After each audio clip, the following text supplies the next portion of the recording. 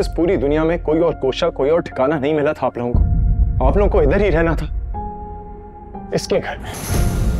गुलाब अपनी फितरत से बेबस है और कांटे अपनी हस्ती से मजबूर। फायजा वो कम अकल और बेवकूफ़ नहीं रहा। जो मसनू पत्थरों का खरीदार हुआ करता था।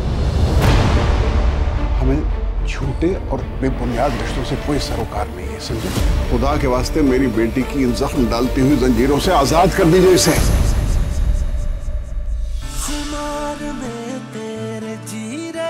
देखिए कुमार आज रात आठ बजे।